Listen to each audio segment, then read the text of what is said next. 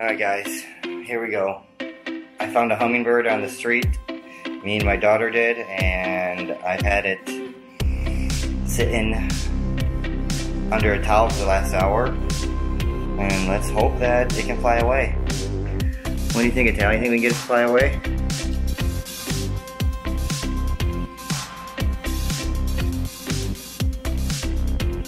Alright, we're gonna bring it out in the patio and release it. And let's see if the hummingbird is better.